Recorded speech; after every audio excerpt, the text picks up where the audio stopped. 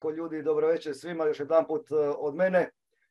Evo, da vam budem iskren, ja sam namjeravao održati jedan webinar po pitanju s obzirom da me je par ljudi kroz porukice ili telefonom su me nazvali čisto da pitaju, kaže kakvo je stanje sa Infaceom, vidim ne, ne dešava se ništa, kakvo je stanje po pitanju onih kaznenih prijava, tako da sam namjeravao održati jedan takav kratak webinar, međutim evo neki dan me nazvao ovaj, naš Max iz Labina i Filip, da bi oni htjeli da se organizira ovaj, jedan webinar, to, su, to ste vi dečki organizirali, ja sam samo taj link ovaj, pripremio, tako da večeras ćemo ukratko nešto, malo ću ja taj uvod, s obzirom da ljude interesira kakvo je stanje sa Inface i kakvo je stanje po pitanju tih uh, tužbi. Ukratko ću vam tu nešto spomenuti, vidjet ću ovaj, da vam pokažem, a nakon toga ćemo normalno vaša pitanja i odgovori da vidimo kako, šta i gdje smo i gdje u biti idemo i gdje smo stigli.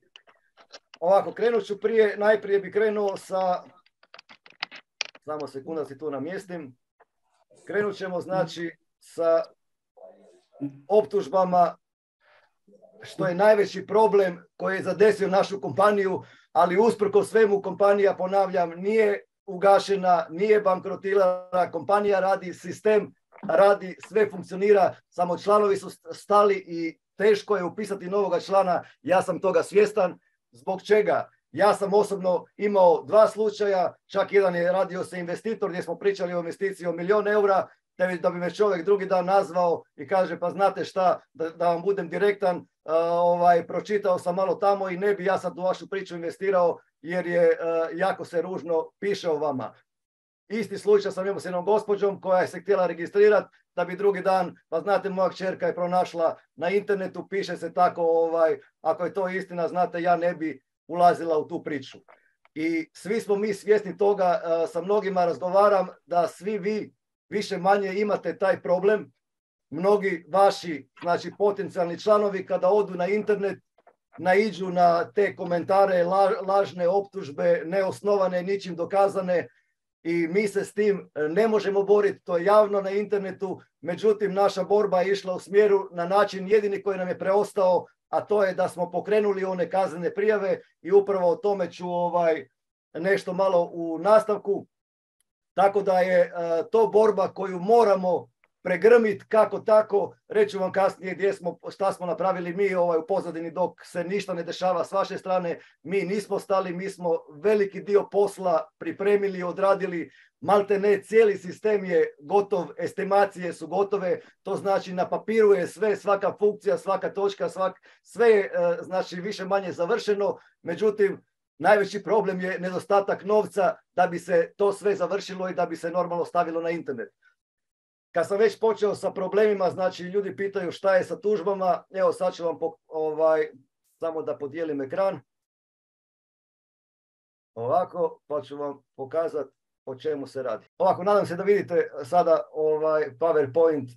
Ovako, kao što vidite, znači, uz mnoge tekstove koje možete naći na internetu, počeši od bloga MLM Srbija, pa onaj forum i tako dalje, pa ova Facebook ukradena naša grupa od strane Daniela i te ekipe, znači tamo su iznijeli toliko tih doslovce laži i obmana, ničim dokazane, optužili su nas za prevarante, iako nikad nisu i ničim dokazali u čemu se sastoji prevara, optužili su nas za pronevjeru i za pranje novca i to recimo moj prijatelj, taj Vladimir Stošić, zatim Daniel Kruljac, čovjek koji je bio prvi lider u kompaniji i normalno kad neko pročita da takvi ljudi E, pišu to o nama, pa ja prvi kada bi to pročitao, rekao bi tu nešto ne štima, ovaj, bježi od te kompanije.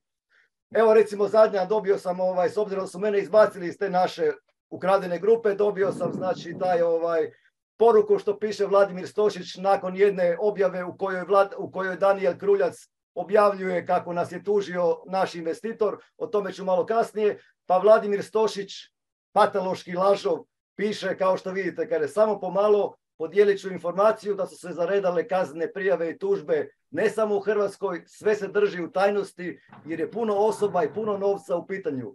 Najvažnije je da su tisuće i tisuće građana spašeno od novih prevara. Hvala svima što šaljete tajne webinare koji pomažu ne samo oštećenim investitorima, već institucijama koje se bave tim slučajem. Kaže dalje, njihove privatne tužbe još nitko nije zaprimio, povodom lažnih dijela da pače kad ih primimo, onda su službeno zaradili i kaznene prijave koje se vode po službenoj dužnosti.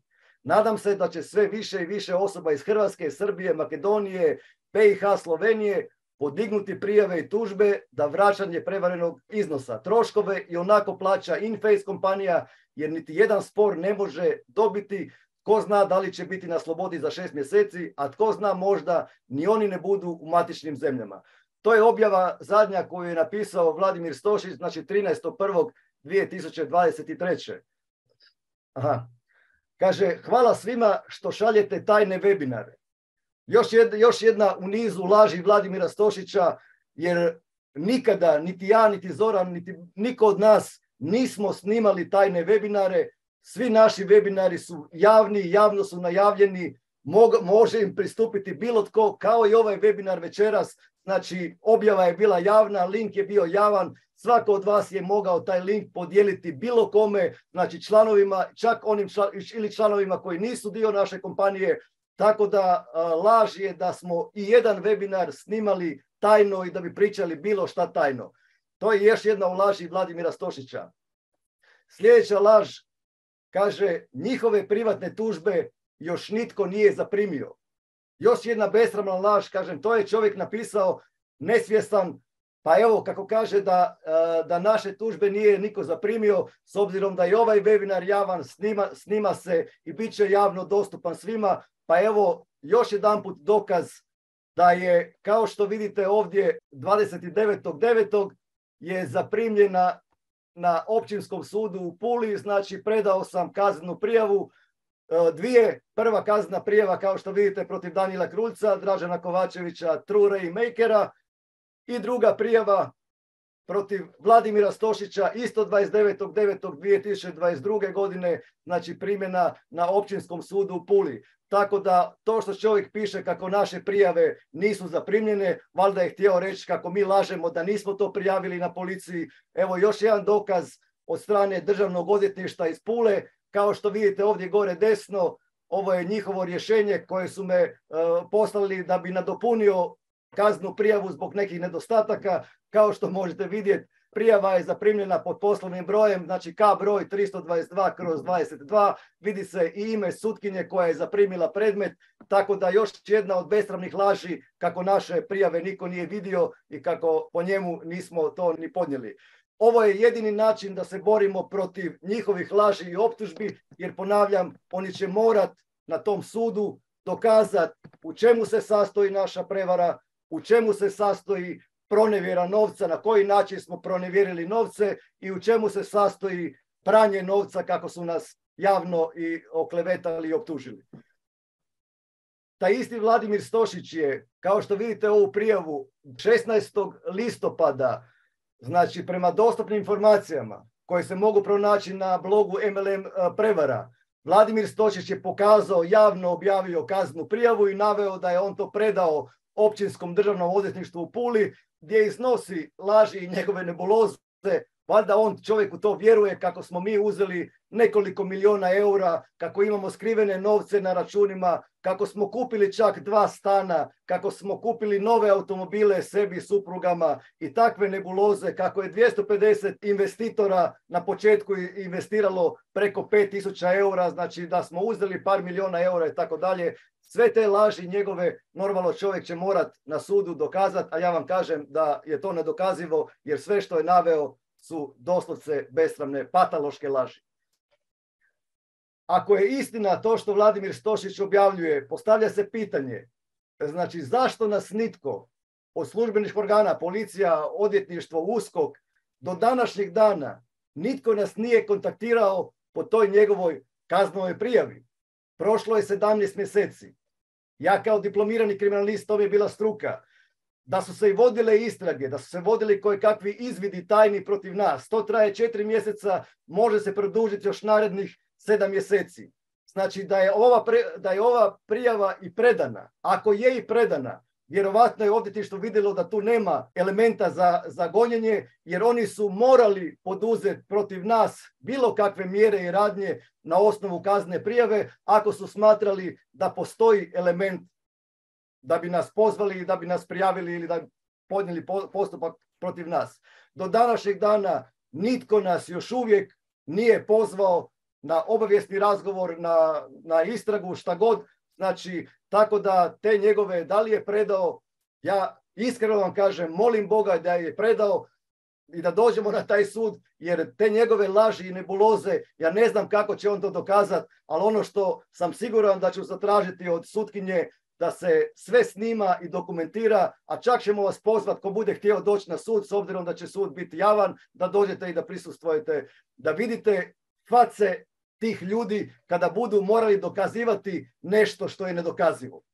Međutim, to što su oni nas lažno optužili, to je nama nanijelo ogromnu materijalnu štetu koju će neko morat platiti, odnosno za to odgovarati. I da pitam Daniela tamo direktno na sudu da mi objasni neke stvari. Morat će, on će morat doći na sud, ne samo Daniel, znači i Daniel e. i ova ekipica i Vladimir Stošić, pa će normalno, ovaj, imamo mi za njih već spremna pitanja, znači ovaj, kogod bude htio doći kao svjedok moći će doći, a to, o tome ću ovaj, po pitanju svjedoka, kad budemo znali kad je prva rasprava, tad ću vam uputiti dopis, tako da svako od vas ko želi biti e, svjedok u našem postupku, ko želi kazati da mu je njihove te laži, da su, mu, da su vama e, napravile štetu u vašem poslovanju, u našoj kompaniji, moći ćete napisati taj tekst, objasnit vam šta na koji način, normalno uz osobnu iskaznicu, pa ćemo to sve priložiti svjedoke vas, kažem, onaj ko ne može doći osobno, moći će priložiti to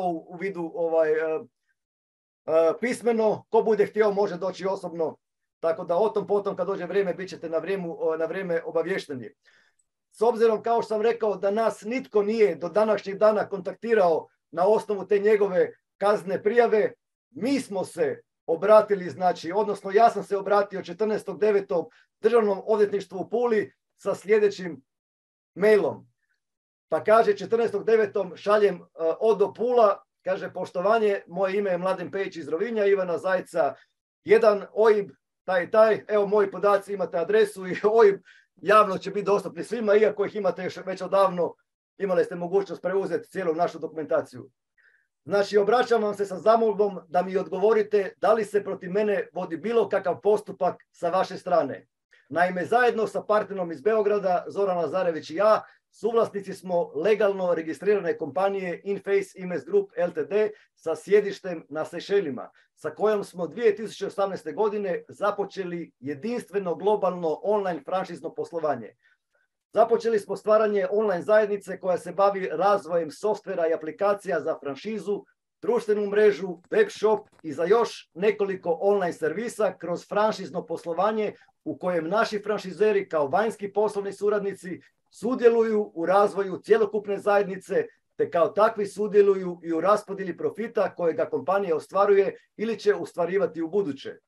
Međutim, razlog zbog kojeg vam se obraćam na ovaj način je problem koji našem poslovanju nanosi veliku materijalnu štetu kao što ruši ugled nas suvlasnika, našeg poslovanja i cjelokupne zajednice.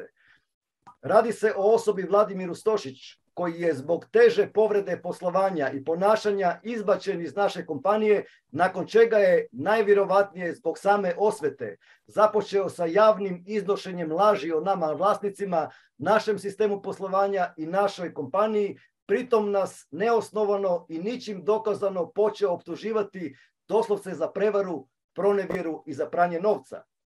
S tim u vezi Vladimir Stošić u svojim javnim nastupima na internetu, objave i video spominje, odnosno sad već tvrdi kako je 2020. godine prijavio mene i mog partnera državnom odvjetništvu i uskoku za prevaru, pronevjeru i pranje novca, te kako je navedenu prijavu nedavno nadopunio novim saznanjima po četvrti puta. Ne moram vam govoriti da je navedenim radnjama uznemirio mnoge naše suradnike investitore, da nam je nanio veliku materijalnu štetu, što za posljedicu ima usporavanje razvoja naših projekata, kao i štetu našem ugledu i našem poslovanju. Svjesni činjenice da se navedena dijela podnose i prijavljuju privatnom tužbom, Međutim, upravo zbog te privatne tužbe koju namjeravamo podnijeti protiv istoga, zamolio bi da mi odgovorite da li je dotični Vladimir Stošić podnio bilo što protiv nas. Ukoliko i postoji kakvo postupanje sa vaše strane, ako ste sprovodili bilo kakve izvide ili istrage, s obzirom na Vladimirovo javno iznošenje kako istraga postoji, evo stojimo vam na raspolaganju da me pozovete na razgovor kako bi vam pokazali svu potrebnu dokumentaciju u poslovanju i dokazali da našem poslovanju jednostavno nema nikakvih elemenata bilo kakvih nezakonitih radnji. Kako bi shvatili što pričam, možete pogledati video mog odgovora i demante na video koji je snimio Vladimir Stošić. Kada odgledate video, vjerujem da će vam sve biti jasno. I tu je link onoga videa gdje Vladimir Stošić i Daniel Kruljac. Daniel ga ispituje, Vladimir odgovara, a ja kasnije taj video obraćujem i dokazujem sve laži, 37 laži Vladimira Stošića. Zamolio bi ukoliko je moguće da mi zakažete termin u kojem bi mogao porazgovarati sa službenom osobom na naprijed navedene okolnosti i ako postoji predmet protiv nas, da li je moguće izvršiti uvid u spise. Stoga vas molim da mi odgovorite na ovaj mail i unaprijed vam se zahvaljujem.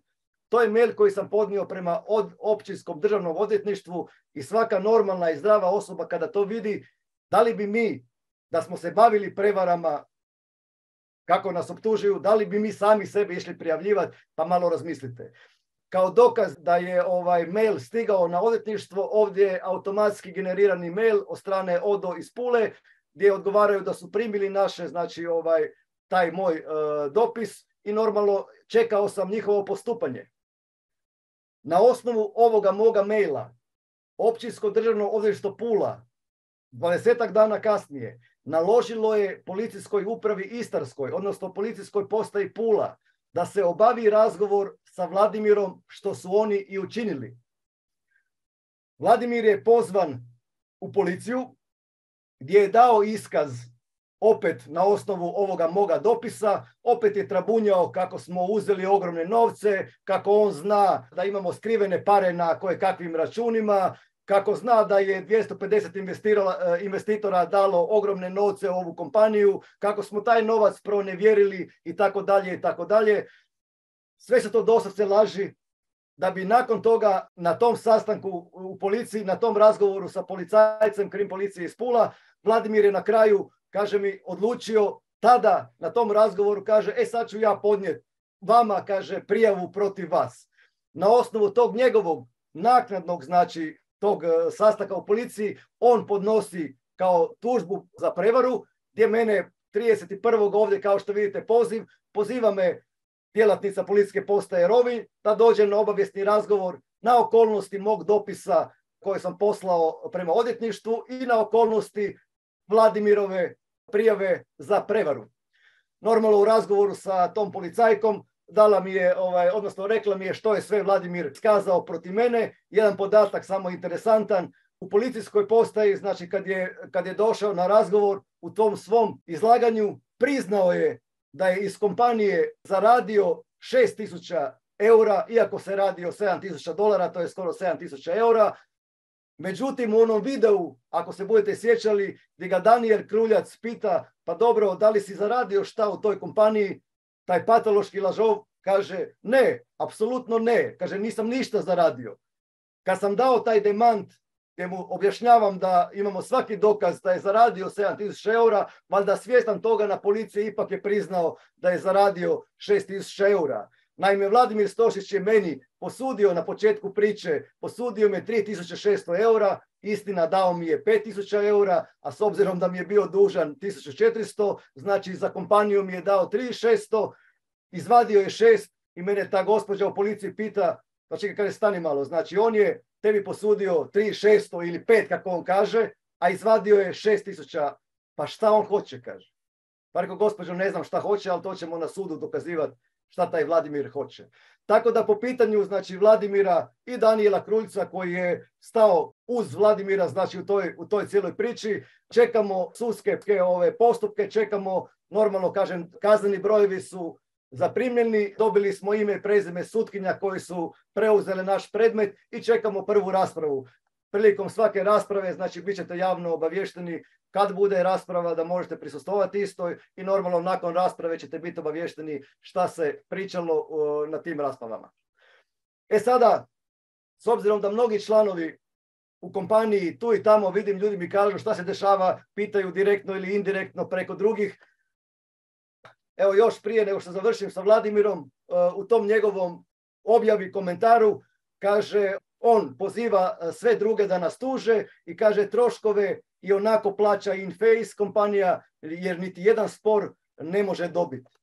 Pa što se tiče tog njegovog kako mi ne možemo dobiti niti jedan spor, ovako znači s obzirom da smo mi lažno i neosnovano, znači javno putem interneta, što je teži oblik kaznenog dijela klevete i uvrede, optuženi za prevaru, pronevjeru, znači pranje novca, u tužbama koje smo mi podnijeli, predložili smo da sud osigura financijskog stručnjaka. Znači, svrha financijskog stručnjaka u našem predmetu je da taj stručnjak odradi znači vještačenje baze podataka i cjelokupne dokumentacije naše kompanije u kojoj će doslovce u cent ustanoviti koliko je novaca ušlo u našu kompaniju i gdje je taj novac transferiran, znači kroz fakture, kroz račune, kroz sve troškove koje normalno imamo već odavno spremno. Zadaća financijskog stručnjaka je da ustanovi znači koliko novaca je ušlo u kompaniju i koliko novaca i gdje je investiran, odnosno gdje je taj novac utrošen, kako bi dokazali da ne postoji nikakva, recimo, pronevjera ili pranje novca, ne znam kako misle dokazati pranje novca, na koji način. Zahtjevali smo traženje IT stručnjaka, znači IT stručnjaci, e, programeri, seniori, neka ga sud obezbijedi tog stručnjaka koji će dobiti također našu bazu, cjelokupnu podataka, dokumentaciju, da ustanovi i da izvještači što smo sve odradili u tom periodu, koliko je to sve plaćeno i da li to vrijedi tih para koje smo mi to platili. Normalno vještačenje baze podataka, cjelokupne dokumentacije, to je postupak koji će malo biti skuplji, tako da će ovaj postupak i normalno pozvali smo i više svjedoka počevši od vlasnika dviju kompanija sa kojima surađujemo, s koji su nam radili naše projekte, znači koji su radili naše softvere i aplikacije. Još uvijek smo znači, s njima u ovaj kontaktu, ne kontaktu nego partnerstvu, međutim zbog novca je sve privremeno zaustavljeno. Znači sve to ćemo mi, te dokaze priložiti u toj svakoj tužbi, ovoj kojoj smo mi tužili njih, a i u svakoj tužbi koja bude podnesena protiv nas. Tako da ovo kako ćemo mi platiti troškove to će odrediti sutkinja koja vodi postupak, a ne Vladimir Stošić, a ponavljam, troškovi ovih postupaka neće biti mali jer vještačenja i svjedočenja IT stručnjaka i financijskog stručnjaka, vjerujte mi, košta. Tako da to je što se tiče Vladimira i njihovih tužbi gdje on kaže kako su se zaredale kazne prijave i tužbe, možda i jesu, stvarno ne znam, međutim do današnjeg dana nama nijedna tužba nije stigla. Znam da je podnesen postupak od strane našeg investitora najvećeg, to je gospodin Branislav Rudin, svi znate za njega, znači ja tome ću sada nastavku, evo, o njemu ću samo malo. E sada, na stranici koju je pokrenuo, znači stranica koja je pokrenuta sa servera koji je vode True Rainmaker, odnosno mi znamo da se radi o Danielu Kruljcu, znamo da on vodi i da on piše sve te tekstove, iako on tu piše kao da neka treća osoba vodi i piše taj tekst, čovjek je smiješan i to će vidjeti vrlo brzo kad dođe na sud, s obzirom da imamo već dokaze neoborive da se radi upravo o njemu i da je on kreator svih tih, kaže, tekstova i tih e, članaka koje vodi na toj stranici. Znači, Lazarević i Pejić prijavljeni su državnom odvjetništvu za kazneno djelo prevare, uzeli bolesnom čovjeku 250.000 eura. Kaže, imamo ekskluzivnu informaciju da je podnesena kazna prijava na državnom odvjetništvu Puli protiv Mladena Pejića, Zorana Lazarevića i kompanije Inface za kazneno djelo obmane, prevare i financijskih malverzacija. Zbog samih detalja istrage nećemo iznositi sve detalje i informacije koje smo dobili kao i ekskluzivni video intervjua sa prevravenim investitorom kojeg imamo u našem posjedu. Prijavu je Državnom odvjetništvu Republici Hrvatskoj podnio oštećen investitor koji tvrdi da su ga Lazarević i Pejić obmanuli i od njega ukupno uzeli više od 260 tisuća eura. Taj gospodin dotični Branko Rudin zaista je čovjek koji nam je pomogao, investirao, znači 150 tisuća eura u tu jednu investiciju. Došao je u moj dom, nisam ga ja zvao, došao je jedan put, dva, tri puta, odlučio je investirati kao i svi drugi investitori koji su investirali, odlučio je investirati taj novac gdje je njemu obećano da će po završetku sistema, on zna što mu je obećano, ne bi ovdje sada zbog, zbog kaznene prijave, sve imamo normalno dokaze, snimke, na papirima, vidjet ćete da li smo ikoga obmanuli na koji način čovjek je investirao. Meni je samo žao što je podlegao manipulaciji Daniela Kruljca i Vladimira Stošića, jer nedvojbeno znam, imam i dokaz da je razgovarao sa Danielom Kruljcom i sa Vladimirom Stošićem, nakon čega čovjeku u glavi, glavi kreće košmar i on pokreće tužbu, jer je na kraju su ga obmanuli oni njega kako smo mi uzeli ogromne novce, kako imamo sakrivene novce na računu, kako smo kupovali nove stanove i tako dalje i tako dalje. Sve imamo dokaze, čak i snimke razgovora, tako da po pitanju toga obmanjivanja mi, gospodina Branka, bit će sud pa ćete i taj sud ćete pratiti. Dalje piše na toj stranici MLM prevara po tom konkretnom pitanju. Kaže, Lazarević je prevarenom investitoru uvalio menadžersku poziciju niskog broja, a novac je poslao, a po novac je poslao svoju mulu za izvlačenje keša od najemnih ulagača, naravno mislimo na Mladina Pejića, koji je obećao Branku Rudinu da će za godinu dvije vratiti samo uloženi novac i zaraditi mnogo više od uložene investicije. Kaže dalje, nećemo prejudicirati gdje je sav taj novac od preko 250 tisuća eura otišao, ali s obzirom da nijedan projekt u kompanije nije završen, dajte si na maštu. Kaže, Branko nije zaradio ni jedan cent, prodali su, uvalili. Što se tiče novca, igrom slučaja je gospodin Branko Rudin nije dao novac Mladenu na ruke pa je Mladen odnio taj novac, nego je Branko Rudin, sa što postoji normalno dokaz crno na bijelo, kako kaže Daniel ovdje, crno na bijelo mi imamo dokaz da je Vladimir, da je, da je Branislav Rudin, gospodin koji je e, taj novac nama investirao, uplatio direktno iz svoje banke na bankovni račun kompanije koja nama radi softvere i aplikacije. Plaćen je novac otišao znači za razvoj, tako da po pitanju te obmane i da je bio čovjek obmanut ili da sam ja novac uzeo, kako kaže, nećemo prejudicirati gdje je taj sam novac završio, ne moraš Danijele prejudicirati jer se točno zna crno na bijelo iz banke dokumentacija fakture jasno dokazuju da je gospodin Branko novac uplatio upravo za razvoj gdje je novac i bio namijenjen. Kaže, pristup u svoj poslovni ured, kako Branko tvrdi, dobio je tek naknadno. Sve te nebuloze što oni ovdje pišu, sve su, kažem, dokazi i činjenice koje ćemo na sudu dokazivati.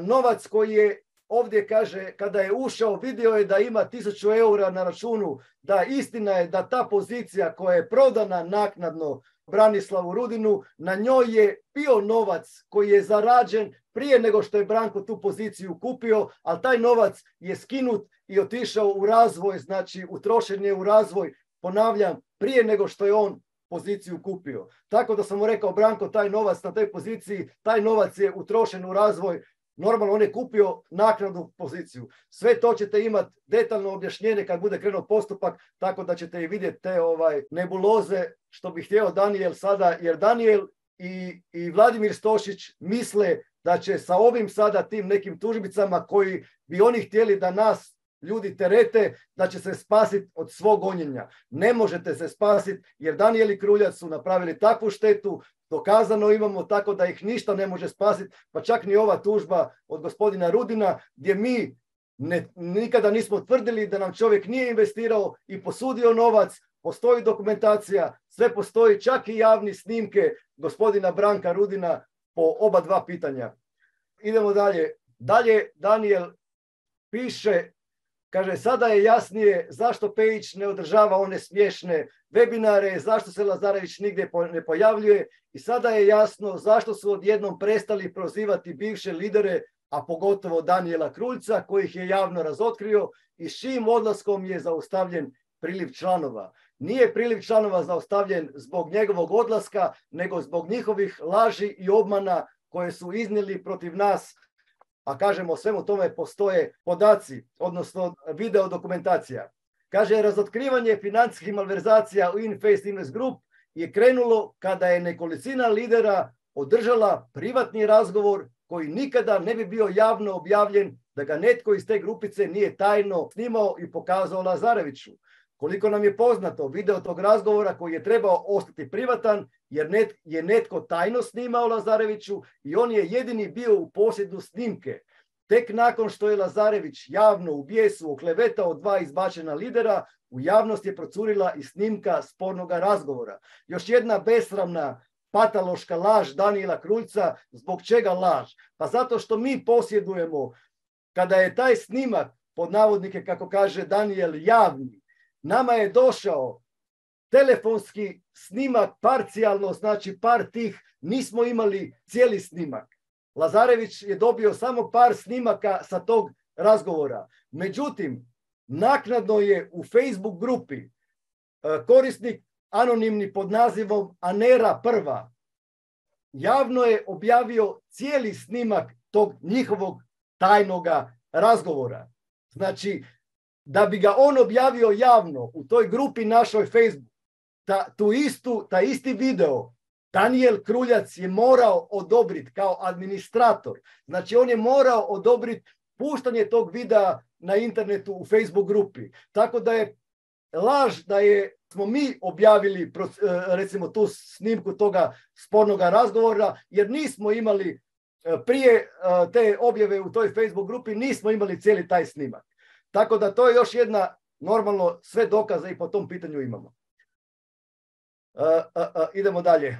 E sada, ovako, ovdje je jedan gospodin Aleksandar Brajović. Ne znam da li je večeras gospodin ovdje. Vidim da prati zbog čega njega danas ovdje ovaj, ne da kažem prozivam, nego zbog čega o njemu večeras pričam, pa zbog toga što je gospodin Aleksandar Brajović, kao što vidite, trećeg drugog napisao od ovoga nema ništa, zašto čute Mladen i Zoran. Prije toga je, to je bilo znači e, decembar 12. mjesec 13.22. napisao prije ovoga, znači trećeg drugoga, kada je to napisao i nas prozvao zašto čutimo. Pa evo Aleksandre, ako nas gledaš direktno ili gledat ćeš naknadno, sad ti se javno obraćam 26.9.22. godine. Aleksandar Brajović na svom profilu znači postavlja pitanje kad će se početi zaraživati u ISIC sistemu, da li iko zna? Rekao, kad sam vidio taj, to pitanje, o, osjećam se rekao odgovorni kao suvlasnik kompanije, pa da mu odgovori na to pitanje. Pa ću pročitati, s obzirom da mnogi nisu to pročitali jer to na njegovom zidu bilo, znači njemu sam direktno ovaj odgovorio, pa mu pišem, kaže sljedeće ovako. Poštovani Aleksandar, pitate se što se dešava sa kompanijom IFIG i zašto je sve stalo, kada se namjeravaju pokrenuti novi projekti i kad će se početi zarađivati u IFIG sistemu. Pitate se što se dešava u kompaniji. Vi jako dobro znate što se dešava s obzirom da pratite naše objave kao i objave u Facebook grupi gdje vi pitate Daniela tko će da vrati pare. A ja vas pitam tko bi trebao i kome da se vraćaju pare. Povrat novca je bio moguć onim članovima koji su zatražili povrat u roku 90 dana u kojem roku je vraćen novac svima koji su to zatražili. Vraćeno je, gospodo, više od 200 tisuća eura. Svi ostali kojima je protekao navedeni rok nemaju pravo na povrat novca s obzirom da je taj novac otišao u raspodjelu i u razvoj, tako da taj novac više ne postoji. A ti se pitaš tko će da vrati pare. Tako da takva pitanja idu samo u smjeru provociranja i stvaranja dodatne pomutnje kod članova. Osim toga, pitam ja vas, zašto bi se pare uopće vraćala jer kompanija nije prestala sa radom, a sistem savršeno funkcionira. Pitaš se dalje, dalje zašto je sve stalo. Pitam ja tebe kakvo je to pitanje s obzirom da vidim da uredno pratiš kako naše objave, tako i objave u Facebook grupi, tako da jako dobro znaš odgovor na to pitanje.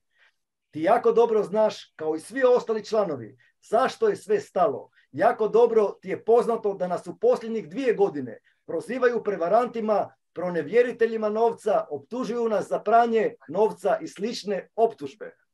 Upravo zbog takvih lažnih i neosnovanih optužbi, zbog svih problema koji su došli sa nametnutom nam korona krizom i ponajviše zbog krivog i pogrešnog poslovanja jednog većeg broja članova, došlo je do situacije da 98% članova u posljednjih dvije godine nije registriralo ni jednog jedinog člana. A ti se pitaš kada će se početi zarađivati. Počni raditi i počet ćeš zarađivati odmah s obzirom na direktni bonus koji je uveden. Zarada kreće kada članovi krenu raditi. Pitaš se kada će se pokrenuti novi projekti. Odgovor je jednostavan kada se pokrenu članovi i kada u kompaniju uđe dovoljno profita da se projekti završe. Ili ukoliko mi prije toga dođemo do potrebnog novca putem investitora ili ukoliko vi članovi dovedete potencijalne investitore. S obzirom da u posljednje vrijeme čitam pitanja pojedinih članova kada će početi zarađivati i zašto u posljednjih dvije godine nisu ništa zaradili, iz kojih pitanja je razvidno da ne poznaju naš sistem poslovanja, pa bi postavio pitanje tebi koji si već duže vrijeme u kompaniji, da li ti znaš kako sistem funkcionira? Jer postaviti pitanje kada će se početi zarađivati je odraz nepoznavanja sistema i namjerna provokacija. Što kada bi mi kao kompanija upitali tebe i ostalih 98% članova, što si ti u posljednjih tri godine učinio za dobrobit kompanije? Koliko si ti učlanio direktnih članova i koliko su oni napravili dalje, odnosno koliko je velik tvoj tim? E, od prvog dana, od prve prezentacije, jasno, jasno smo i nedvojbeno objašnjavali da je pokrenuto franšizno poslovanje u kojemu, u kojemu smo ponudili našim članovima da svojim radom pomognu razvoju u, projektu, u, razvoju projekta. Od prvog dana promoviramo kako je zamišljen razvoj i kako kompanija dolazi do novca potrebnog za razvoj. To što mnogi to ne znaju, nije naš problem, odnosno nismo mi krivi za to jer mi smo održavali prezentacije i detaljno objašnjavali kako sistem funkcionira. Čak smo vam dali i matematički izračun koliko bi zaradili u slučaju da svaki član učlani tri člana u prvih sedam mjeseci i da svi u tih sedam mjeseci uplate prve tri rate, odnosno 105 SFTC-a. A što su radili mnogi članovi, čak i pojedini lideri? Učlanjivali su ljude govoreći im kako ne trebaju ništa raditi, već da trebaju samo uplatiti 30 dolara i naći jednog člana. I kada danas imamo u kompaniji 98% članova koji ništa ne rade, ti postavljaš pitanje zašto je sve stalo.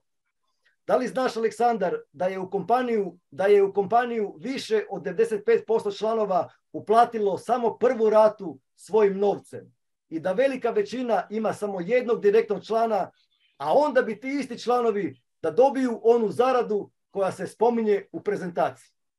U posljednje dvije godine nitko ne radi, tako da je i razvoj usporen, ali kompanija nije prestala sa radom niti je sistem ugašen. Svjedoci smo dešavanja koje nas prate u posljednjih par mjeseci koja su pokrenuta od strane Vladimira Stošića i kasnije Dalijina Kruljca, ali s obzirom da mi na kraju podnosimo kaznene prijave za klevetu, uvredu i iznudu protiv njih, mi sa ovim slučajem završavamo i za par dana počinjemo sa radom, odnosno prezentacijama. O svemu za dva, tri dana izlazimo sa videom u kojem ćemo razimirati sva dešavanja i okrećemo se daljem radu i razvoju. Ja se tu zaista potrudio da bi mu odgovorio, pa mu pišem dalje. Kaže, kada će cijeli sistem biti gotov, to nitko sa sigurnošću ne može znati s obzirom da ne znamo sa kojom brzinom će članovi nastaviti raditi ili kada ćemo od investitora prikupiti dovoljno da završimo sistem. Samo sekunda. Ali sa 100 tisuća registriranih franšizera, sistem će u tom slučaju biti sigurno završen. To znači, ako se u narednim mjesecima pokrenemo i krenemo sa radom u narednih šest mjeseci do godinu dana, cijeli sistem može biti završen do kraja. Ili možda i puno prije s obzirom na sve razgovore koje smo odradili u posljednjim mjesecima. Nakon toga Aleksandar odgovara. Mladen Pejić kaže, što bi članovi trebali raditi kada nema priliva novca? Da lajkuju po ovoj mreži. Gdje je web shop? Ako zavisite od novih članova i njihovih uplata, onda piši propalo. Još je Zoran Lazarević govorio da mu fizički članovi nisu bitni, da će da zaključa matricu na 15.000 članova, da su moćne sistemske pozicije i šta sad? Ti si na prvom webinaru istaknuo da je uslov da se uvede jedan član i to je to. Netko se zadovoljio sa 1000 dolara mjesečno. Slušajući investitore koji su uložili na desetine hiljada eura, ne mogu da se ne zapitam zašto sistem do sada nije završen. Morate imati stepen odgovornosti prema ljudima koji su vam poklonili povjerenje. Ja mu odgovaram, evo Aleksandre, iz ovoga tvog odgovora razvidno je da ni ti, unatoč tome što si u sistemu dvije godine, ne razumiješ kako sistem funkcionira, odnosno kako je zamišljen razvoj naših projekata. Nažalost, veliki broj članova ima takvo i slično mišljenje zato jer nisu pogledali prezentaciju sa razumijevanjem ili su je pogledali, ali je nisu shvatili, niti su dali si vremena proučiti je. Na početku svake prezentacije govorili smo da smo započeli stvarali ovaj projekt doslovce iz nule, kroz franšizni model poslovanja gdje smo ponudili članovima, našim franšizerima, da svojim radnjama pomognu u razvoju franšize, društvene mreže, web shopa i svih ostalih projekata. Sa novcem koji kompanija zaradi od prodaje franšize, odnosno uplate startnih paketa i ostalih rata, razvijaju se naši softveri, odnosno aplikacije, kako za društvenu mrežu, tako i za web shop i sve ostale projekte koje namjeravamo implementirati u sistem poslovanja. To pričamo od prvog dana, jasno i transparentno u ovoj fazi razvoja novac potreban za razvoj projekata dolazi prvenstveno od uplata franšizera, a, od prodaje ESA računa, prodaje VES pozicija ili od investitora. Pitaš što bi članovi trebali raditi kada nema priliva novca? Da lajkuju po ovoj mreži. Gdje je web shop? O tome govorim kad kažem da nisi shvatio sistem, iako si u kompaniju dvije godine. Ali to ti ne zamjeram puno, jer u posljednje dvije godine 98% članova nije učlanila novog člana, odnosno posljednje dvije godine gotovo nitko ne radi, što znači da nema priliva novca koji je potreban za razvoj projekata. Ako nema novih članova, samo malo, da, o, mi miš, ako nema novih članova, nema ni zarade, odnosno kako ti kažeš, prijeva novca. Pa te ja pitam, odakle da, odakle očekuješ da ti novac dođe ako nema upisa novih članova, a sistem još uvijek nije završen. Pišeš dalje, ako zavisite od novih članova i njihovih uplata, onda piši propalo. Od prvog dana, kao što sam već rekao, i to ponavljamo stalno, da je naš razvoj zamišljen upravo tako da se od novca novih članova plaća razvoj softvera i aplikacija. U prvog dana jasno smo i transparentno govorili da mi nemamo nekoliko milijuna eura koliko je potrebno za završetak potrebnih softvera, ali je upravo franšizni model poslovanja primarni način kako doći do potrebnog novca za završetak sistema. Pitaš se gdje je web shop? Web shop je spreman, završena estimacija, sve je na papiru i čeka se investicija kako bi se završila nova aplikacija za društvenu mrežu koja je neophodna s obzirom da je web shop potrebno integrirati sa franšizom i sa mrežom. Za web shop kao za svaki, molim gasite mikrofon tamo. Evo gotov sam još malo. Za web shop kao i za svaki znači, gdje sam stao? projekt potreban je novac kojega u posljednje dvije godine nema a ti se pitaš gdje je web shop. Kada bude u kompaniji cirka 100 tisuća članova, zasigurno će biti gotov i shop, i mreža, i cijeli sistem. E, idemo dalje. Još je Zoran Lazareć govorio da mu fizički članovi nisu bitni, da će da zaključa matricu na 15.000 članova, da su moćne sistemske pozicije. Molio bi te, ja njemu pišem, molio bi te da mi pokažeš gdje je to Zoran govorio da će da zaključa matricu na 15.000 članova kako ovdje spominješ. E, Zoran je govorio više puta o zaključavanju matrice, odnosno o mogućnosti zatvaranja pristupa novih franšizera, ali tek po završetku sistema. Zaključavanje matrice je moguće isključivo kada bude završena aplikacija za društvenu mrežu koja mora biti povezana sa web shopom koji također mora biti u funkciji. Društvena mreža i web shop moraju postati profitabilni da bi, da bi stvarali te, kako pišeš, moćne sistemske pozicije. Jer zatvoriti matricu na 15.000 članova ili prije nego li je sistem gotov jednostavno nije moguće. Zatvaranje matrice, odnosno zabranom upisa novih franšizera ne bi bilo profita koji je neophodan za završetak projekata. Tako da iznosiš neistinu kada pišeš da smo Zoran ili ja bilo gdje govorili o zatvaranju matrice na 15.000 članova. A da bi došlo do zatvaranja matrice potrebno je stvoriti sistem koji će generirati profit, koji će se raspodjeljivati franšizerima kroz matricu putem tih, kako pišeš, moćnih sistemskih pozicija.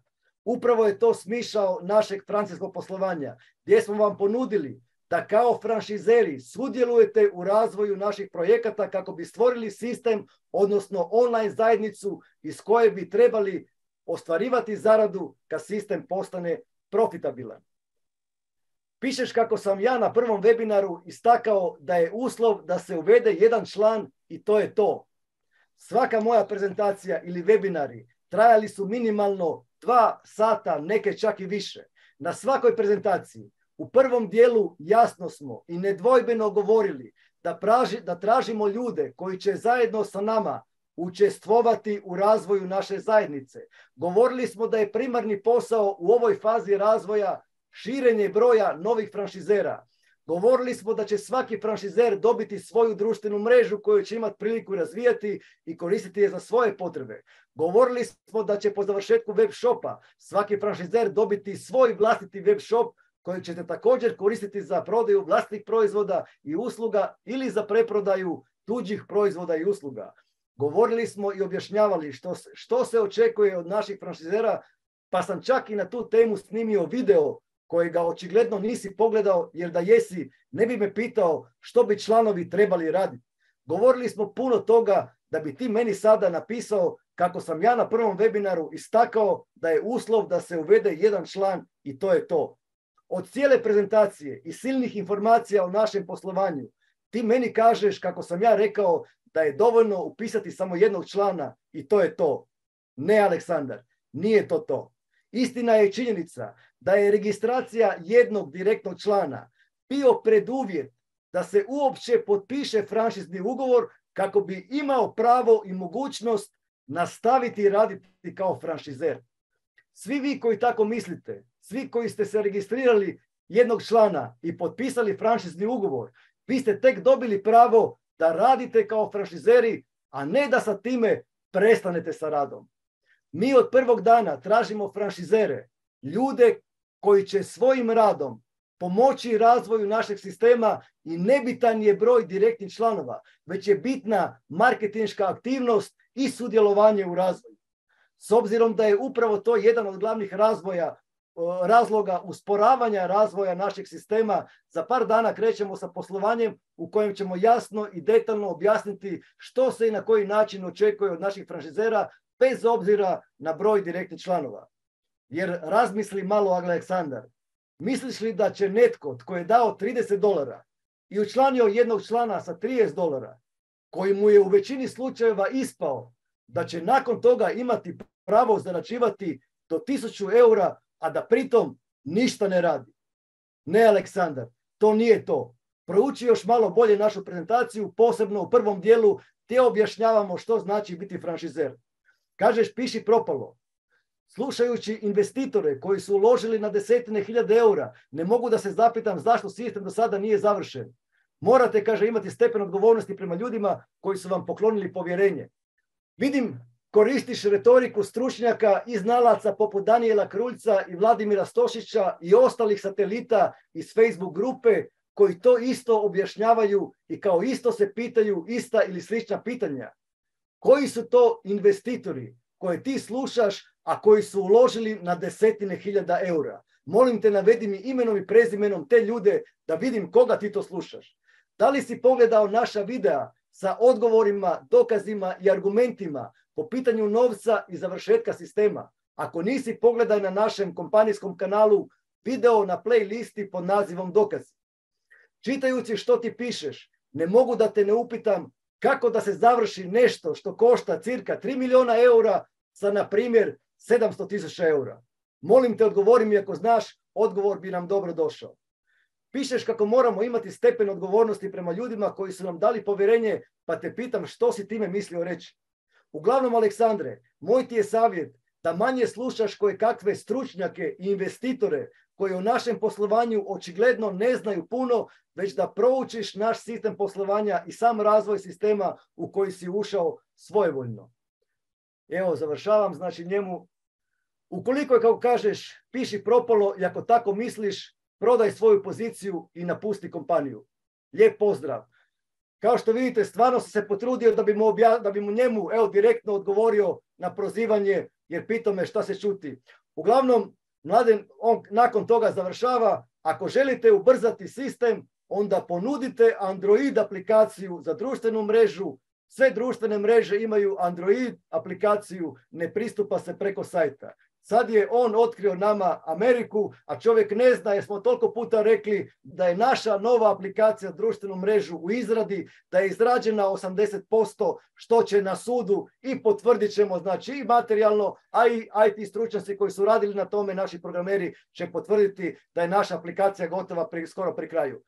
I glavnom, nakon sve te priče gdje sam mu se toliko potrudio da bi mu objasnio njemu direktno, on opet postavlja pitanja kao hoće li ikad zaživjeti IFIG, kada će IFIG, hoćemo li konačno početi zarađivati ovaj, e, pasivnu zaradu, kaže svaka piljara ima web shop. Kaže danas svaka piljara ima web shop. Aleksandre Obrajoviću, očigledno ne shvaćaš da naš web shop koji mi stvaramo, koji mora biti integriran sa društvenom mrežom, povezan sa franšizom, gdje svaki član mora imati svoj web shop, nema veze sa tim web shopovima koje ti ovdje spominješ kako svaka piljara ima. Jer danas svaka piljara, kako ti kažeš, može kupiti, čak i besplatno napraviti taj nekakav mali šopić. Ali ovo što mi radimo na globalnom nivou, znači način i model koji mi stvaramo, pa ne može svaka piljara to, kako ti kažeš, imat ili, ili da se radi o malim parama. Tako da, da završim i da vam još ću vam pokazati nešto da shvatite da nema svaka piljara to što Aleksandar misli, a mi stvaramo nešto što nema svaka piljara. Evo ovako, ovdje ćete vidjeti sada, kao što vidite, kaže, prvi investitori u ranoj fazi razvoja, kada je nastao Facebook, ako ne vjerujete meni, to možete pronaći na internetu. Čak možete vidjeti kako je izgledala web stranica, odnosno stranica Facebooka 2004. godine. 2004. godine kada je krenuo Facebook, znači stranica ništa posebno, čak gora nego ova naša društvena mreža. U prve dvije godine u Facebook je investirano 13,2 miliona. Znači u siječnju 500 tisuća i 2005. SL Partners i Jim Breyer 12,7 miliona. Znači u prve dve godine Facebook je dobio 13,2 milijuna. Pričamo o 2004. skoro prije 20 godina gdje je 13 milijuna vrijedilo puno više nego recimo danas. Da bi kasnije, 2006. 27,5 milijuna Greylog Partnersi, pa Merite Capital Partners 2006. 30 milijuna, pa kineski milijarder Li Ka-shing 2007. 60 milijuna, pa 2008. opet 60 milijuna, pa Microsoft, odnosno Bill Gates 2007.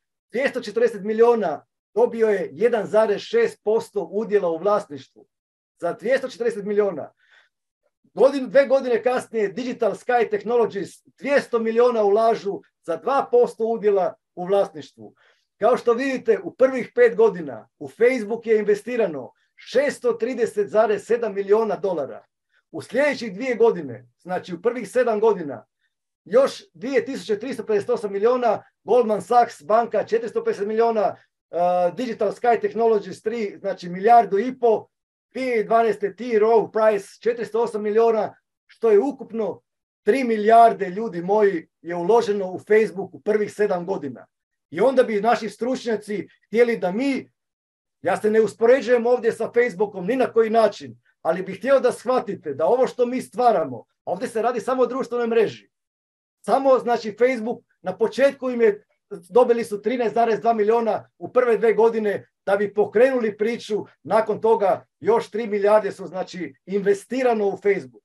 Danas je Facebookova vrijednost, znači u, ovaj, prema tom, to sam pronašao, znači u siječnju 2023. 320 milijardi je njegova znači kapitalna vrijednost. To je samo društvena mreža. Idemo dalje. Amazon je u prve dvije godine u razvoj je investirano 8,3 milijuna. Vladimir Stošić kaže kako se sve to može napraviti za nekih 30 tisuća dolara.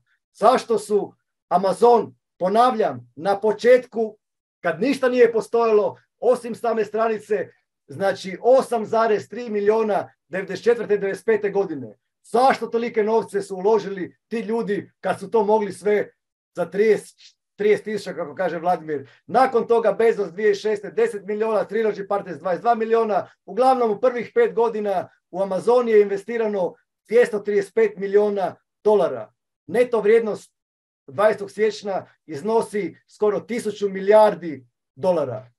To je po pitanju web shopa. Opet ponavljam, ja se ne uspoređujem ni na koji način s ovim kompanijama, jer ovo su mega kompanije, ovo su uh, tehnološki fenomeni današnjice, ali oni kad su krenuli bili su niko i ništa, velike novce su u samom startu uložili da bi danas to što jesu. Idemo PayPal, platni procesor kojega mi isto tako razvijamo. U prve dve godine u PayPal, u platni procesor, investirano 25 milijuna dolara Zašto su tolike novce investirali ti ljudi? Ovdje vidite pet najvećih investitora, znači Max Levčin, ujedno osnivač, 3 milijuna, pa Peter Thiel, uh, kasnije 500 tisuća za 3,7%, pa Elon Musk 3 milijuna, pa Reid Hoffman i Keith Roboa 4-5 milijuna. Znači, nastao je 98. godine, u prve dve godine je tvrtka uspjela prikupiti oko 25 milijuna, znači investicija od različitih investitora. Danas na vrijednost je 273,4 milijarde. Ovo vam samo govorim da bi ljudi shvatili da ovo što mi radimo u samom startu jako puno košta. Međutim, mi nemamo investitore koji bi uložili kod nas milion, dva i tri za start da bi to sve završili pa da bi se mogli tom brzinom razvijati. Mi smo upravo i napravili franšizno poslovanje gdje bi recimo ovdje, kao što vidite, Mah Levčin, 3 miliona uh, uložio u taj, taj uh, PayPal. Danas je milijarder. Da mi, franšizeri, sa malim investicijama uspijemo skupiti 2, 3, 4 miliona, pa možda za narednih 5, 10 ili 15 godina mi bi dijelili te silne milijarde. Opet ponavljam, ja ne znam da li ćemo mi ikada na rast kao što su narasle ove kompanije. Ja ne znam da li će naša društvena mreža imati sutra milijarde članova. Ja ne znam da li će naš web shop se razviti globalno kao što se razvio ovaj Amazon ili da li će naš platni procesor ovaj eh, biti eh, toliko moćan kao što je PayPal. Ja zaista to ne znam i ne mogu se, niti smo se ikada uspoređivali s njima. Samo bih htio da shvatite da ove nebuloze koje, koje okolo pričaju koje kakvi stručnjaci protiv, poput Vladimira Stošića i Danijela Kruljca, kako to sve jeftino je, kako to košta, kako je to malte ne džabe, 30.000. Nama su samo zadnjih 12 e, faktura bili 37.000 i, i 700 mislim dolara svaki mjesec.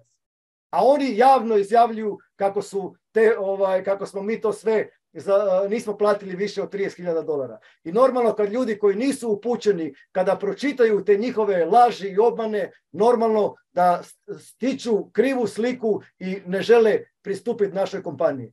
Ovo sam vam samo pokazao da shvatite da ovo što stvaramo, da zaista naš, naša zajednica koja uključuje znači i društvenu mrežu, i platni procesor, i web shop, i softver za online obrazovanje i edukaciju i naš Zoom sutra koji ćemo imati i još neke druge naše online servise uh, ovaj, i normalno softver za franšizu koji to mora sve objedinjavati, koji to sve mora integrirati u jednu zajednicu.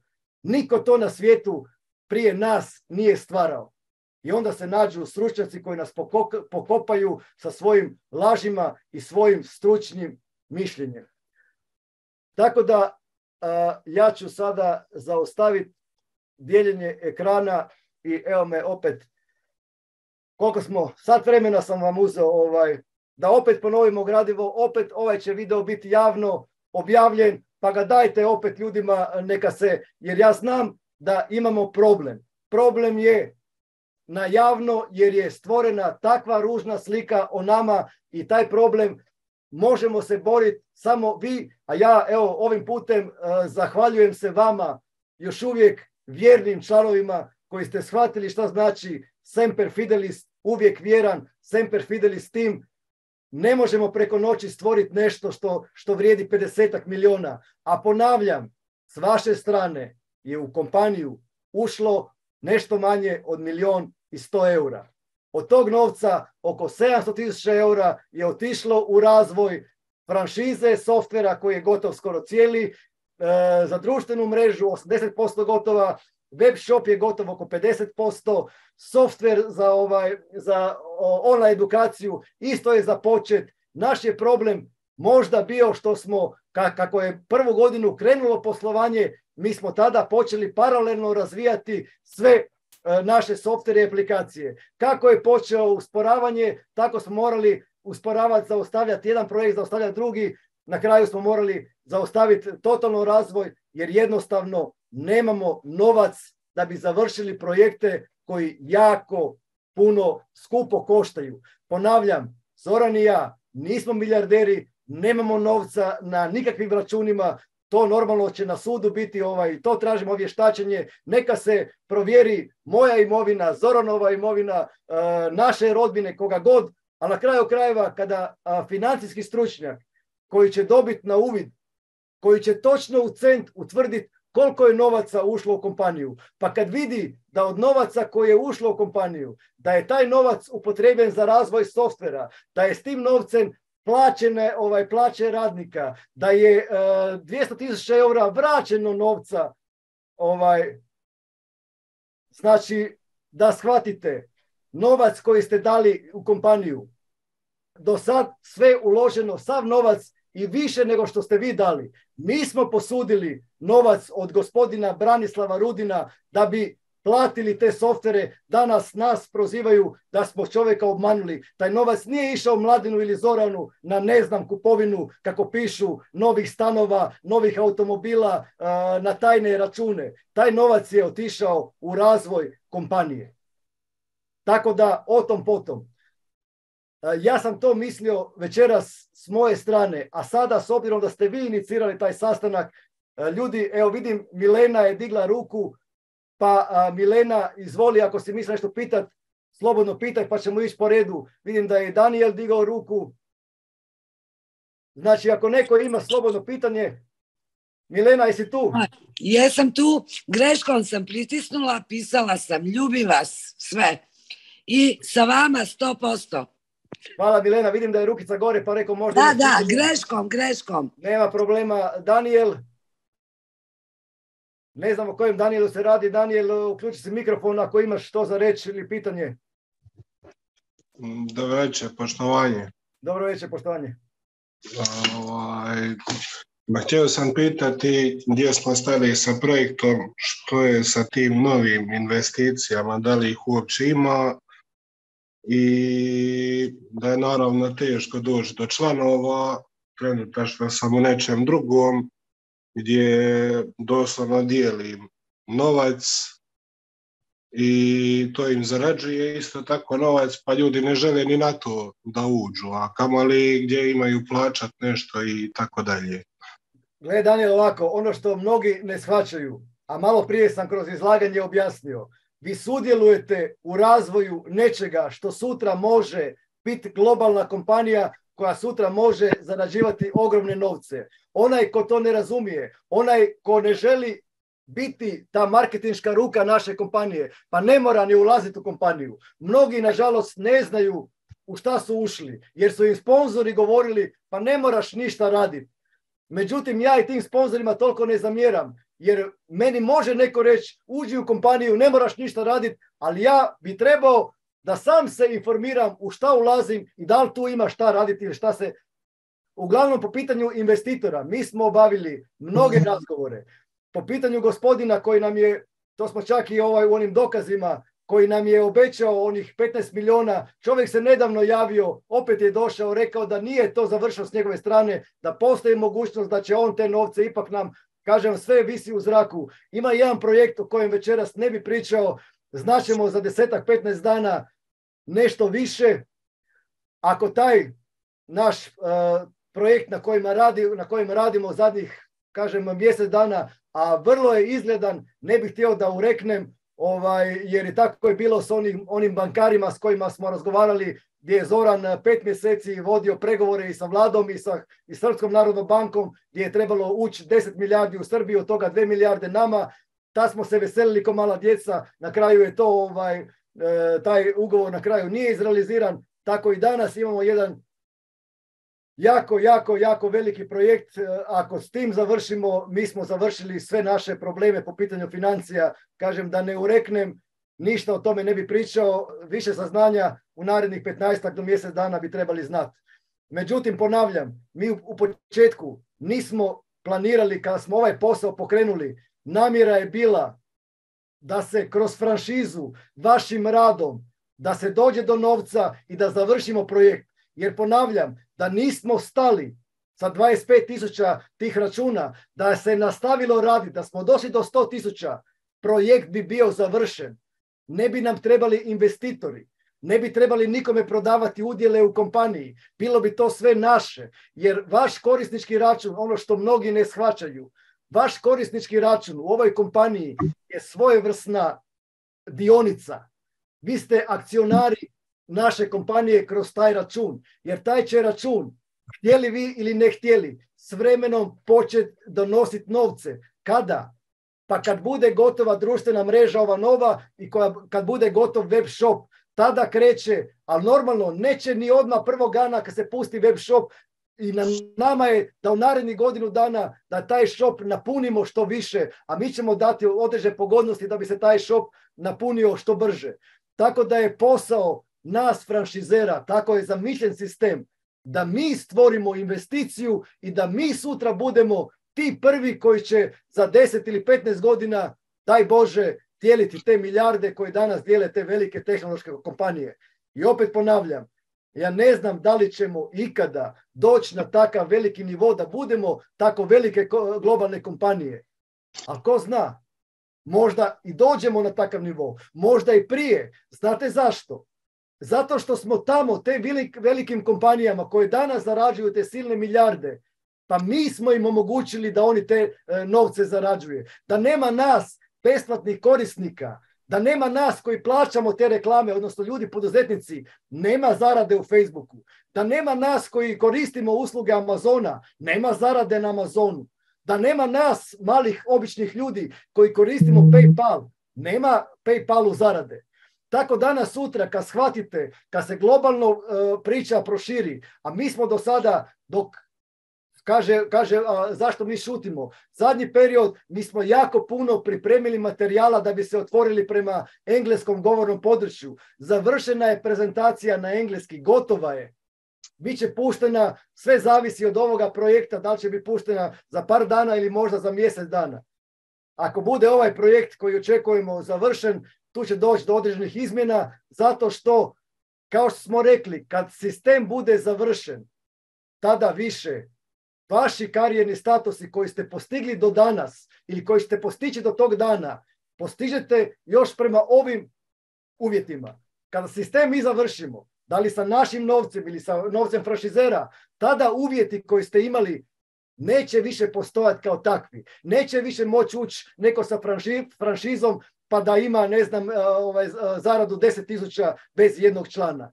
Biće promijenjeni karijerni statusi, bit će promijenjeno dosta toga, jer kad sistem e, bude završen, nema više potrebe da u sistem dovodimo nove franšizere. Jer ako nas bude 100-200 tisuća franšizera koji rade, ljudi morate shvatiti, 100 tisuća ili 200 tisuća ljudi koji rade marketing, a da li znate šta znači 200 tisuća članova koji će raditi, a šta ćete raditi? Klikat, tijelit, objavljivati. To je vaš posao. I dan danas je to vaš posao. I to bih htio zahvaliti vama koji ste e, Filipu, Maksu i ekipi koji ste na ovaj, Zdenku i svi vi koji ste Mirjana, ovaj, vidim tamo ovaj, preko te Viber grupe koji se borite sa, e, sa mnogima, vidim tamo na, po tim grupama i koji radite taj posao marketinški a zamislite da to radi 25 tisuća ljudi. Vas 50 to radi sada. Ne znam da li vas ima 50 koji se borite tamo na internetu, koji objavljujete, jedni drugima pomažete. Da li ste svjesni šta bi se desilo da 25 tisuća ljudi koji su potpisali ugovor da će sudjelovati u razvoju naše kompanije, da li ste svjesni šta bi se desilo sa marketingom, našom pričom na internetu? Da li znate što bi... Ne možeš Gorane znati o čemu se radi. Da li ja mogu kad dođe vrijeme značite, da li ja mogu, Gorane kažeš, da li možete znati, da li ja mogu znati zašto vi ne upisujete članove nove, da li ja mogu znati zašto 25, 24.900 ljudi ne radi. A sistem je funkcionira. Sistem funkcionira kao od prvog dana. Direktni bonus je ubačen unutra. Nemojte nas puno, rekao sam, nemojte nas puno ispitivati. Kad dođe vrijeme, kad završimo, objavit ćemo o čemu se radi. Jer me razumijete? Najavio sam da smo, ne mogu reći, kažem, ista stvar je, čovjek je lijepo pristojno pitao, tako je, ali rekao sam prije, da sam imao namjeru vam objasniti o čemu se radi, rekao bi vam odmah, ljudi, radi se o tome, tome i tome, znam zašto vam ne govorim, kad dođe vrijeme, značite.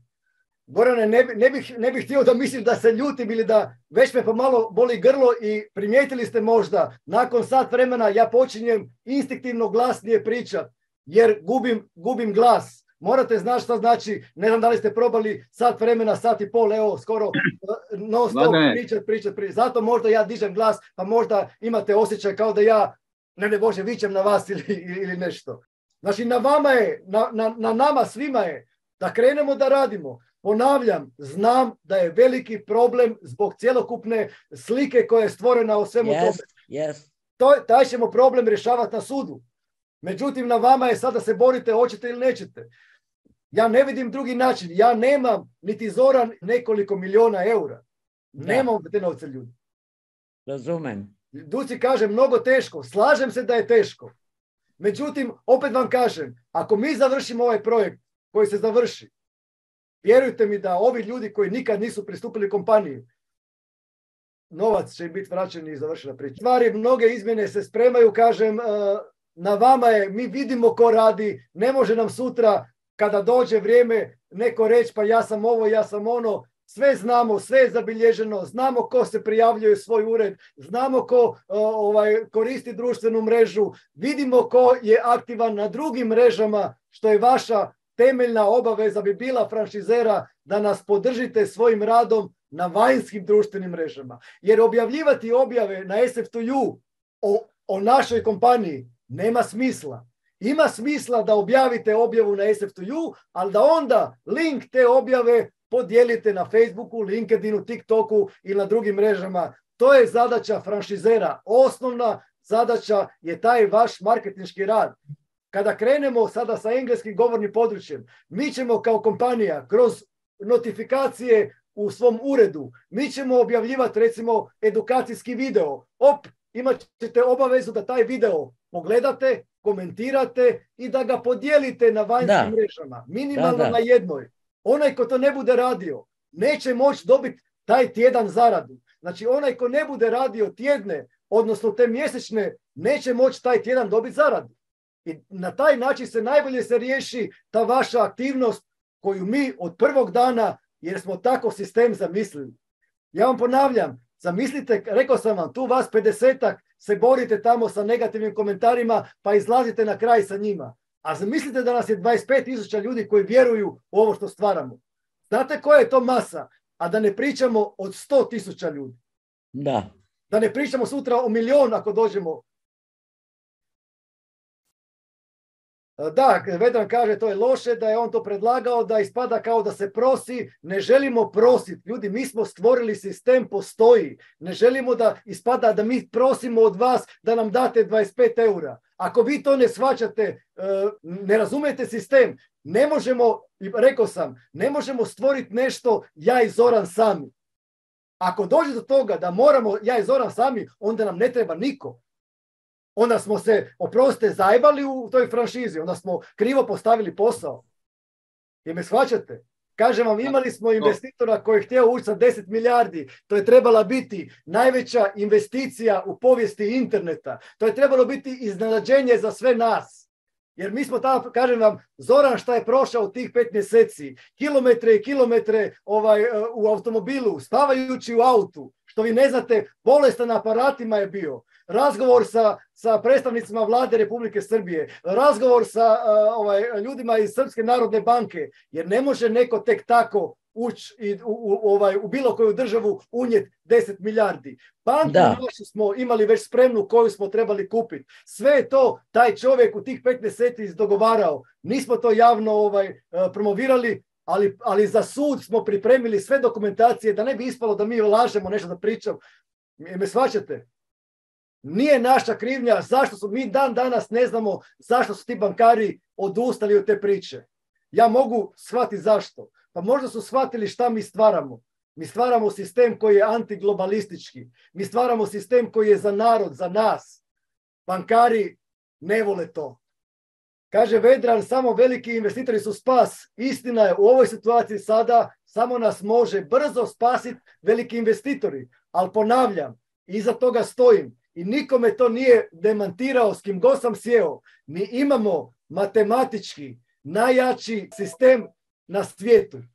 Ne postoji znači matematička formula bolja od ovoga našega. S kim god sam sjeo, ja kažem ljudima, evo ti sistem, taj koji ti misliš da je bolji od našega. Evo ti tisuću ljudi koji su recimo u taj sistem uložili 100 eura, evo naša matrica i kad pokažem usporedba, sad mi kaže gdje bi više volio biti, ovdje ili ovdje.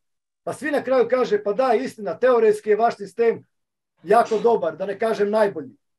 Teoretski je još uvijek jako dobar, ali da bi ta teorija zaživjela u praksi, mi moramo imati barem 100 tisuća franšizera da bi mogli sa našim novcem, ako nema, ako nema ovaj, uh, što kaže Duci, teško. Znam da je teško, opet ponavljam. Teško je, znate zbog čega? Teško je zbog stranja koje su nam nanijeli Daniel Kruljac i Vladimir Stošić. Taj problem, rekao sam, rješavamo kako ga rješavamo. Oni koji nam vjeruju su uz nas, oni koji nam ne vjeruju tamo su gdje jesu. I to je to. Ja ne znam drugačije kako da objasnim. Znači, mi ne bježimo, mi se ne skrivamo, kompanija nije zatvorena. Iako smo mogli, kad je korona krenula, kad su krenula zatvaranja, kad nam je sistem iz korone počeo usporavati se, mogli smo tada zatvoriti kompaniju, reći stand by dok ne prođe ova Golgota, ne radimo ništa. I onako nismo radili ništa. Ko bi nam mogao zamjeriti? Po ugovoru stoji da smo, imamo pravo, znači, prekida poslovanja u slučaju više sile. Je li korona bila viša sila? Mnoge kompanije su nestale, mnogi su zatvorile, bankrotirale, ljudi su bez posla ostajali, umirali, ubijali se ovaj. Mi nismo, ljudi, nismo prestali, mi nismo, kaže imamo špijuna, neka imamo špijuna, ovaj webinar je javan, snima se i dobit ćete snimku, sutra ga dijelite gdje god hoćete. Opet ponavljam, ništa ne skrivamo od prvoga dana. Kome milo, kome drago. Ko shvaća, ko ne shvaća. Onaj ko misli da smo bilo šta odradili krivo, izvolite, udružite se, javite se Danielu, javite se Vladimiru Stošiću, podnesite tužbe protiv nas, doćemo na sud, ne bježimo, iznećemo naše, vi iznesete svoje i to je to. Samo ponavljam, ja mogu reći, ja i Zoran, da su mnogi, ne od vas koji ste ovdje, ali mnogi franšizeri su nas prevarili. Jer mnogi franšizeri koji su platili i rekli da će sudjelovati, a nakon toga nikad u mrežu nisu ušli, nijednu objavu objavili, ni, nijednu objavu podijelili, nikakav marketički ovaj, rad nisu odradili. Samo su dali 30 dolara i recimo upisali mamu ili tatu. I sad oni očekuju takvi da će pasivnim radom zarađivati tisuće dolara. Pa nećete ljudi moji. Ne shvaćate? Onaj ko ne radi u ovoj kompaniji, vi koji se borite, ja, ja vidim vas i neka tako me, vjerujte mi da mi srce mi je, znate, ono, toliko veliko, a opet me, me boli me unutra i vidim da, da se borite i da se trudite i da tamo dijelite te jedni drugima lajkate, ali malo vas je ljudi. Malo vas je. A opet s druge strane, toliko ste jaki, jer vam ne može vam niko ništa tamo da vam neko dolje da vam palamudi, jer vi znate u šta ste ušli. Ili neko ima još što da kaže, ljudi? Jel mogu ja nešto reći? Može, ne vidim ime. Je to Džani? E, Džani, da. Džani, pozdrav, reći Džani. E, pozdrav. Pa mene ovaj, zanima zašto se do sad nije kontaktirao neko od, od naših ljudi, a ima, ima ljudi sa, sa novcem. Opće poznato je recimo da jedan primjer Modrić je glavni investitor u, u jednoj socijalno e, sportskoj mreži. Pa isto tako, ne znam, eventualno primjer Đoković. Zašto, zašto, ako ništa, vjerojatno bi saslušao A jer ne vidim drugo. Žani, vi ste franšizeri, dovedite nam takve ljude. Mi ćemo s njima sjesti i porazgovarati. Da znate s koliko smo ljudi mi već razgovarali. Pa da znate priče, sad je rat u Ukrajini, sad je korona, dajte da prođe malo. Mi imamo neke investitore koji su nam rekli kao mi ćemo, znate koji osjećaj imamo? To su ljudi koji dođu s malim parama i kažu pa mi bi to kad ovo malo se kod vas zaživi. Ja sam imao osobno slučaj gdje sjedim s čovjekom i onda mu otvara mrežu, investitor u Ljubljani, otvara mu mrežu i pokazuje mu i onda brzo bježim da čovjek ne vidi koliko nas je online na mreži. Ima nas, kaže, 25 tisuća, a tad ih je bilo oko 100 ih je bilo online. I bježim da, da, da ne vidi čovjek, znaš ono, pa di vas je 25 tisuća, a, na našoj mreži je 20. Koji će investitor doći, kaže, pa ja ću investirati u tu vašu mrežu, a mreža ne postoji, nema aktivnosti, me shvaćate? Nije lako doći i plus svega, uz sve probleme koje imamo, javna slika, što kaže Dusi, teško je. Pa i ti investitori kada vide šta piše o nama, pa čovjek mi je meni rekao u oči, kaže drugi dan me zove, kaže mladen izvini, ali jako ružna slika, ja ne želim sad trenutno u to investirati. Prvi čovjek, kaže lider, vas, vas pljuje da ste, da ste prevaranti, manipulatori, da su, se, da su se takve, kaže, ružne, e, da se čudne stvari dešavale. Ja dan danas kažem, a to će Daniel Kruljac morat na sud objasniti, šta se to dešavalo e, ružno, šta smo mi to odradili da smo prevaranti, e, na koji način smo mi to pronevjerili novac ili, me shvaćate? Ali je slika takva kakva je trenutno. Toga smo svjesni. Tako da nije lako, ovaj, ponavljam, uh, u razgovori smo uh, i očekujemo u narednih 15 dana, bit ćemo pametni, možda vas iznenadimo, a možda, opet kažem da ne urekne, možda vam kažem, nažalost, ništa ni od toga.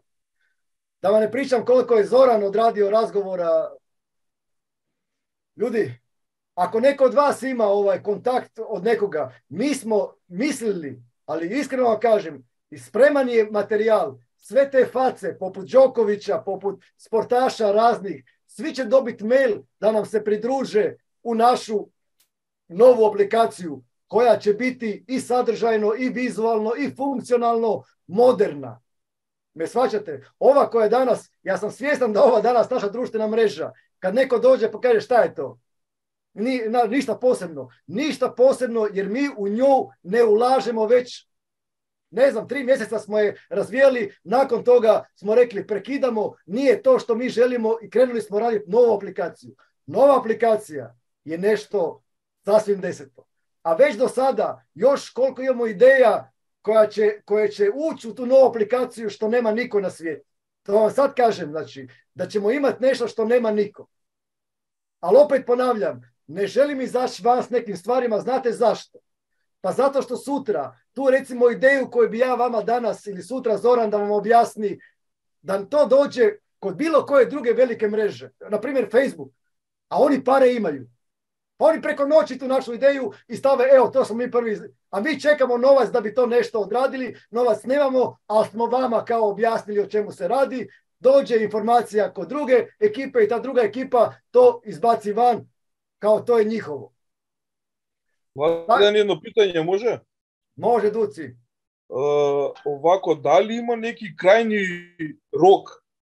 Пошто предпоставljam да и ви, и, Зор, и ти, и Зоран, не можете овако да терате, ево рецим, још две години, шта без новац? Гледај Значи, овако, значи а, и ви зависите, и ви зависите од развој овог система. Значи, ако овој систем не се развие, немаш нити новац. Ама Управо вајда то. нема то да трпиш од 2, 5, 10 година, gledaj, ja ne не znam може dokle ово не ćemo- догледа оде. Duci, u pravu si. A, lijepo si rekao. A, vi ne znate, ljudi moji, da ove dve godine nije ušlo u kompaniju gotovo ništa novaca. Upisalo se, ne znam, stotinjak ljudi u dve godine. Što nije dovoljno za tjedan dana troškova. Da li vi znate da Zoran i ja i Stefan i dalje se borimo da bi mreža uh, franšiza da bi bila online. Da li znate da plaćamo samo Amazonove servere plaćamo oko 1300 eura svaki mjesec? Odakle? Da bi sutra vi imali nešto. Mi grcamo, mi posuđujemo, mi se zadužujemo da bi sistem bio još uvijek gore. To kaže Zoran, pa koji smo mi konjevi? Konji. Mi se trudimo da bi to bilo gore zbog svih nas. Da bi nas neki, dobro ne među vama, da bi nas pljuvali i prozivali ovakvi milijuna. Samo Amazonove servere svaki mjesec 1300, pa računajte zadnje dve godine puta 24. Ti su Zato te pitam, imate li neki rok do kada to možete da trpite? Dok budemo mogli, dok budemo mogli, a nadamo se da ćemo, jer kažem, ponavljam, imamo dosta... Ako ne bude ovi, za ovih 15 dana to što si rekao pre, ako ne ispadne ta kombinacija. Pa gledajte, mi ćemo se boriti. Mi nećemo, gledat ćemo što, da, da, da, da ne gasimo kompaniju. Zašto? Pa možda se pokrene po malo priča, možda franšizeri krenu raditi. Teško je, znam da je teško, ali ako vi kažete da, da ne, tad, jer treba da zatvorimo kompaniju, da kažemo žao, žao mi je. Razumiješ? Okay, hvala. I meni je žao, ja sam imala tri ispale zadnjih mjesec dana, znači finiširamo i oni odu na YouTube i pogledaju tamo i kraj. Eto. Ljudi, to na YouTube-u, to na, to na ovaj, one stranice koje je Daniel kreirao, znamo da ih je on kreirao, znam da on, da on piše, znamo da oni snimate, oni će to morati na sudu. Ne možemo se drugačije, ovaj, jer treba da uzmem palicu i da idem tamo nekome lomit noge. Nisam takav tip. To bi oni Da. htjeli. Oni bi htjeli nakon svega ovoga nas isprovocirati da mi napravimo neko stranje, pa da sutra kaže, e vidite, to su oni takvi ljudi, o tome vam mi pričamo. Nećete to do, doživjeti, ali ćete na sudu morat odgovarati za tvoje. Ljudi, velika je, velika je, velika šteta nanešena. Materijalna i psihička i e, morat će neko za to odgovarati. Mi znamo ko je krivac, a oni će na sudu morat, kaže, morat će to dokazivati, ovaj, nedokazivo. Tako je da, još ljudi, pitanje. Ali sudski procesi traju jako dugo, tako da... Ružice, znamo i to da traje. Bitno je da oni krenu. Mi ćemo Da. svaku, ra- oprosti Filipe, mi ćemo svaku raspravu, ja ću tražiti od sutkinje, s obzirom da je veliki interes naših franšizera, tražit ću da se svaka rasprava video snima. Ako mi ne dozvoli, um, moći će neko od vas ko bude u- blizu tu pule moće doći na, da, da bude pristan na, na, na tim raspravama. A ja ću se potruditi da barem audio snimak ili na kraju pismeno izvješće da i onda ćemo to dijeliti van da dokažemo ljudima da sve ovo što je bilo, što nas terete, da su sve laži i obmane. Pa neka ljudi sutra, neka krenemo za šest mjeseci, neka krenemo za godinu dana. O, projekt je predobar, prevelik je i premoćan je da bi ga se tek tako ovaj, raspustilo to sve. Previše novca, kažem vam, skoro dva miliona je uloženo u cijelu tu priču. Nije to samo vaš novac, posuđen novac je od gospodina Branka i od drugih investitora koje smo posudili da bi do danas došli tu gdje jesmo. Nije samo Branko Rudin investirao 260.000, ovaj, ima tu još investitora koji su ulagali, ulagali novce. Pa i vi koji ste dali tih 30 ili 105 ili punu franšizu ili ljudi za radna mjesta, ima njih koji su platili 15 tisuća, tako da puno novaca, velika priča, kažem, ne možemo tek tako ovaj, odustati, niti ćemo odustati. Vi možete, ja i Zoran nećemo. Ili imate još, e, Filipe, Imao je Duško pitanje, prošlo je već neko vrijeme, a nije primijećeno. E, Pitao je Duško šta je Seven Digit Business koncept, vjerojatno je htio možda o tome više. A ja bih pitao do, usto, usto kako možemo pojačati YouTube e, pretplat, pretplatu na YouTube kanal. To je sad već stara tema. Ovako, Seven Digit dugo. Business koncept je jedan sajt na kojem će se franšizeri imati marketinške materijale koji će moći preuzimati, s njima raditi, bit će materijala za oni ko- koji će se moći koji će se moći kupovati, za oni koji žele brže veće poslove. Znači, eh, jedan sajt koji je vezan za našu kompaniju, koji služi za marketinšku priču, ovaj, bit će sve objašnjeno po pitanju tog, tog sajta ovaj. I to radimo sa novcem, krpamo kako znamo ovaj, da bi, da bi opet napravili vama koji ćete s nama nastaviti, da bi imali taj materijal, jer kažem sad se pripremamo da, da izbacimo englesku prezentaciju i da se otvorimo prema engleskom govornom području. Dovoljno je ljudi da jednu zemlju otvorimo malo jače i da krene s njihove strane možda 10-20 tisuća ljudi, možda iz Njemačke, iz Austrije, Italije, Mađarske i da dođe novca dovoljno u, u kompaniju. E, još si pitao, pitanje je rekao Duško, šta je pitao? To, to je Duško bio pitao, da. Aha, Ovaj, daj, ja sam uvjeren da vama dolazi vrlo brzo veliki investitor, Mladene. Ja se nadam, rekao sam vam, ne želimo o tome... Garant, Mladene, u mjesec dana on je tu. Daj Bože, eto, iz tvojih, iz tvojih uh, ovaj, usta u Božje uši i na našu sreću. Ja bi, ja bi završio za večeras, uh, dosta sam rekao, kažem, sniman je ovaj razgovor, bit će objavljen sutra, pa ćete ga moći dijeliti. Mladen, Molim. Samo, samo, samo nešto da dodajem.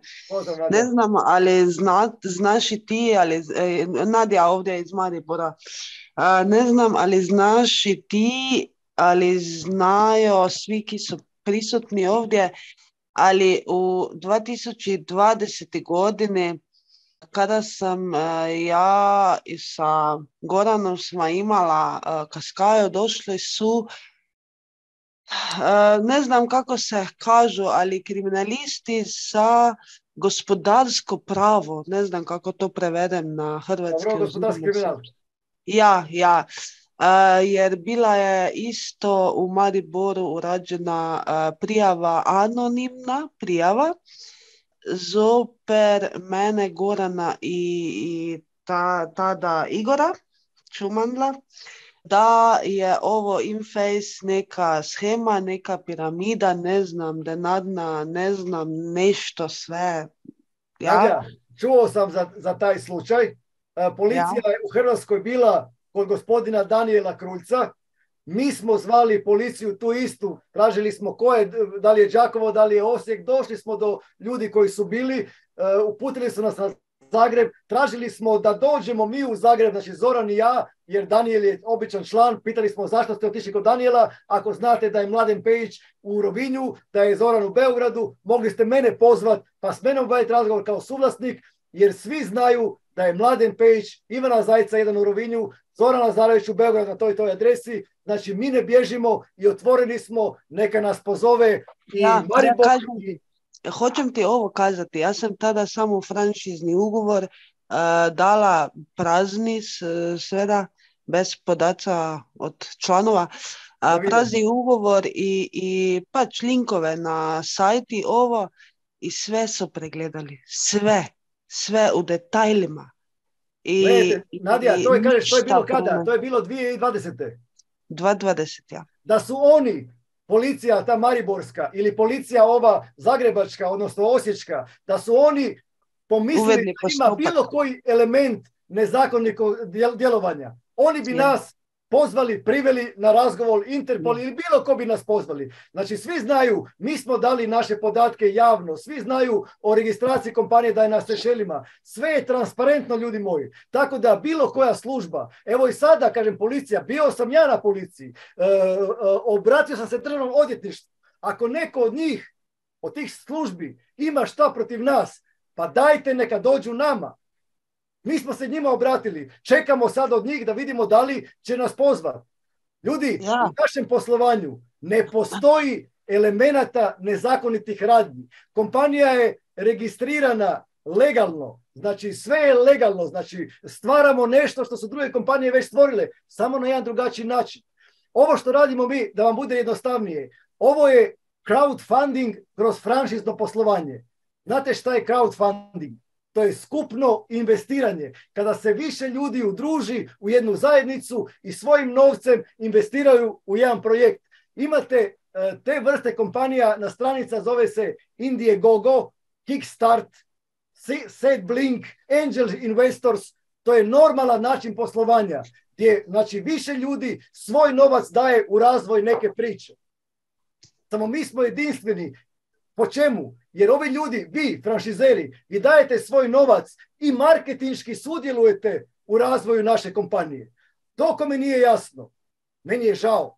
Ali kažem, jel, ja djelujem, uh, jesam ja idiot? Jel mislite da je Zoran blesa? Jel mislite da bi ja radio nešto? Ljudi, ja se ne volim se hvaliti, ja sam uh, diplomirani kriminalist. Jel mislite da bi radio nešto javno, uh, ovaj, globalno, da znam, da sam svjestan da je to kazneno djelo? A onaj ko to misli, a jebi ga, onda si ti idiot. Jer me shvaćate, onaj ko misli da mi radimo nešto nezakonito, nakon toga što je policija, još jedan podatak, obratili smo se, kaže Vladimir Stošić, 2020. je napisao odjetništvu prijavu. Berta kaže, bilo je 2020. Znači, policija i Slovenska i Hrvatska upoznata je o našem djelovanju. Oni su bili dužni, ako smatraju da mi radimo nešto nezakonito, policija Hrvatska i Slovenska već je bila dužna da nas pozove i da nas zaustavi. Da li to možete shvatiti? Tačno, to sam htjela reći. Ništa nisu pronašli, da je sve legalno i da je sve na papirima i sve ide. Ako netko još postoji koji ne vjeruje i koji, koji nije znao da bili su već u Sloveniji, e, u Mariboru kod nas, E, sada ima još ta podatak da bili su kod mene i da smo sve razvršili i sve legalno. Evo, znači Nadija, ti tvrdiš osobno da je kod tebe policija bila, da su isprovjeravali i nakon toga se ništa nije desilo. Tanijel Kruljac, čovjek koji je sad protiv nas, on imamo iskaz, njegov video, dokaze da je kod njega bila policija. Mi smo se obratili policiju i u Zagrebu, i u Osijeku, i u Đakovu. Evo sad sam se obratio policiju i odvjetništvu u Puli. Šta treba više da radimo? Šta mi više da radimo? Znači da, da molimo nekoga, pa dajte nas zatvorite. Ljudi, tu smo, ne bježimo, Mladen Pejić je u Rovinju, Zoran je u Beogradu. Ako ko misli da ima elementa kaznog djela, pa evo, molim, ja kažem, molim Boga da to što prije da nas neko pozove, da skinemo jedanput za, za svakda tu famu oko nas. Zato sam rekao i ovoj, ovaj, ovaj, ovoj policajki, rekao, molim te, uh, ovu, ovu sad, uh, ovu što je podnio kao Vladimir protiv nas, molim te da ta prijava što prije zaživi, da nas što prije pozovu, da to riješimo što prije. Ne znam drugačije kako da više uh, taj problem riješimo, mi shvaćate? Ali opet će se naći stručnjaci na internetu koji će reći pa to je zbog ovoga i zbog onoga, prevara, oni ne smiju ovako, oni ovo. Ljudi, kompanija registrirana na Sešelima, kao i 200 tisuća drugih. Samo za razliku od mnogih, mi smo kompletnu dokumentaciju dali vama na uvid, dali vam je na preuzimanje, da možete sve iskontrolirati. Međutim, neki tamo pišu opet, kao ko zna da li su oni uopće registrirali kompaniju. Ko zna da li oni ovo, da li oni ovo. Ne možemo se boriti sa trolovima, ne možemo se boriti sa lažima. Te laži samo možemo na sudu rješavati. Sam to rekao već, već šest puta danas. I nadam se da će, da će se što prije pokrenuti taj postupak. A opet ponavljam, na vama je da vjerujete e, manipulatorima, lažljivcima ili vjerovati nama. Na vama je da odustanete ili da i dalje gurate koliko god da je teško. Uspjeh će biti tim više slađi. Eto, to vam mogu reći za kraj. Molim Boga da se ovo o čemu sam pričao, da se e, taj projekt na kojem sada radimo, da to se pokrene, jer kad se to pokrene, sve, sve je gotovo.